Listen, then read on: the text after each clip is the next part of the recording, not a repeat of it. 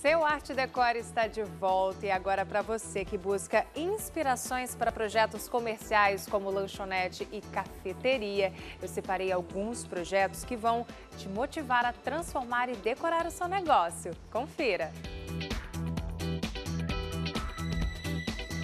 Mesmo quem não gosta tanto de café, não resiste à atmosfera agradável das cafeterias.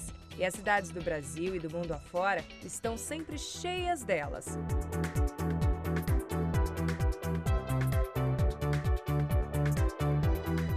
No Vietnã, você encontra essa cafeteria com 120 metros quadrados no total, contando a área externa e a interna.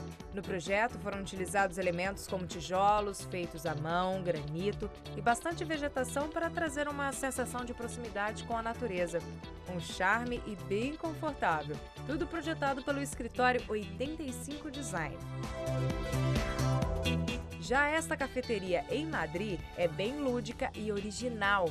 No teto são mais de 1.200 palitos pintados de magenta.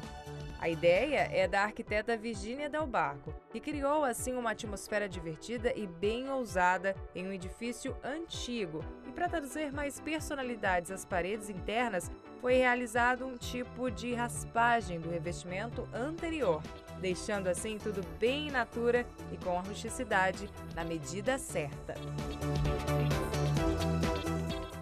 Agora, este café fica em São Paulo, bem moderno e que acompanha as transformações da cidade que nunca para.